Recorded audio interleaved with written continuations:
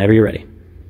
We're the Marlows. This is Lady. We're super happy with how things turned out with our training. We had Quentin, Ezra, and Maddie.